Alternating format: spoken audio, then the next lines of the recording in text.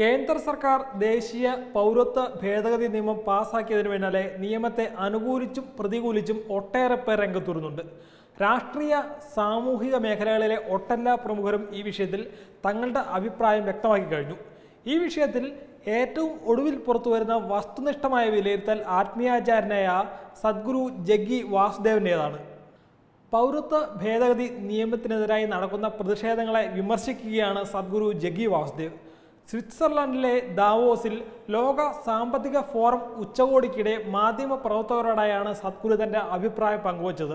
പൗരത്വ നിയമ ഭേദഗതിക്കെതിരെ രാജ്യത്ത് ഉടനീളം അരങ്ങേറുന്ന അതിരുവിട്ട പ്രതിഷേധങ്ങൾ ഇന്ത്യയിലേക്കുള്ള വിദേശ നിക്ഷേപത്തെ പ്രതികൂലമായി ബാധിക്കുമെന്നും ജനങ്ങളുടെ ഭാഗത്തു നിന്നുള്ള ഇത്തരം ആക്രമണങ്ങൾ വിദേശ രാജ്യങ്ങൾക്ക് മുമ്പിൽ ഇന്ത്യയുടെ വില ഇല്ലാതാക്കും എന്നുമാണ് സദ്ഗുരു പ്രധാനമായി പറഞ്ഞത്.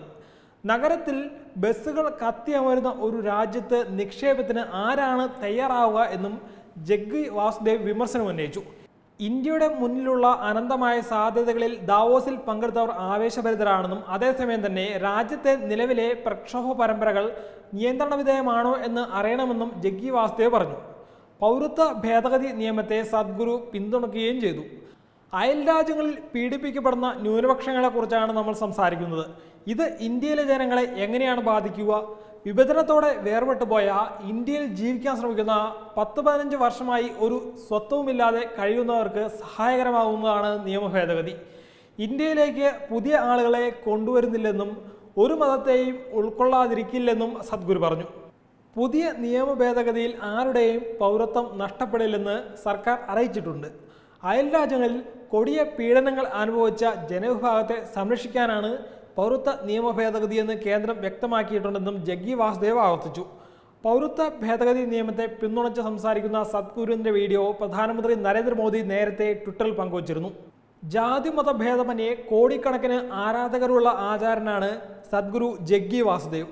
അദ്ദേഹത്തിന്റെ വചനങ്ങൾ പല ഭാഷകളിലായി വിവർത്തനം ചെയ്യപ്പെടുകയും അവ സമൂഹ മാധ്യമങ്ങളിലൂടെയും മറ്റും വ്യാപകമായി പങ്കുവെക്കപ്പെടുകയും ചെയ്യുന്നുണ്ട്. പൗരത്വ ഭേദഗതി നിയമത്തെ വളച്ചൊടിച്ചുകൊണ്ടുള്ള കല്ലുവച്ച നുണകൾ പ്രചരിപ്പിച്ച് കലാപമുണ്ടാക്കുന്ന സമയമാണിത്. ഈ സാഹചര്യത്തിൽ സദ്ഗുരുവിനെ പോലെയുള്ള മഹത് വ്യക്തികളുടെ ഇത്തരം വിലയിരുത്തലുകൾക്ക് വളരെ പ്രാധാന്യമുണ്ട്.